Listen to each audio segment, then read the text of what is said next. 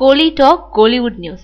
Super hit பாடல்களை கொடுக்க தயாராகும் ஜி வி பிரகாஷ்குமார். பாரதி ராஜாவோட அன்னக்கொடி பாலாவோட பரதேசி விஜயோட தலைவான பிரபல டைரக்டர்கள் மற்றும் நடிகர்களோட படங்களுக்கு இசையமைச்சு ஏறு முகத்துல போயிட்டு இருந்தாரு ஜிவிபி ஆனா இசையமைப்பாளர் விஜய் ஆண்டனியை போலவே அவருக்கும் ஹீரோ ஆசை ஏற்பட்டதுனால பென்சில் படத்துல நடிச்சவரை இப்போ டார்லிங்ன்ற படத்துல நடிச்சுக்கிட்டு இருக்காரு.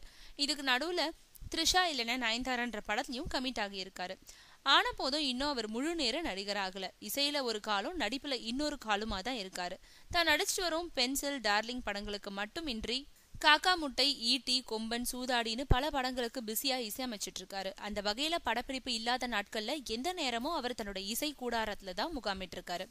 இந்த நிலையில இப்போ தன்னோட இசை பயணத்துல சிறிய தேக்க நிலை தென்பட்டாலும் இப்போ இசையமைச்சுக்கிட்டு இருக்கும் படங்கள் வெளியாகும் போது மீண்டும் பழைய பரபரப்பு தொற்றிக்கொள்ளும்னு சொல்லிக்கிட்டு இருக்காரு G V Prakashkumar. Bharathi Raja remake செய்ய இருக்கும் சிகப்பு ரோஜாக்கள் படத்துக்கும் அவர் தான் இசையமைக்க போறாராம். ஏற்கனவே ஆயிரத்தி தொள்ளாயிரத்தி எழுபத்தி எட்டுல இந்த படத்துக்கு இளையராஜா சூப்பர் ஹிட் பாடல்களை கொடுத்திருந்தாரு.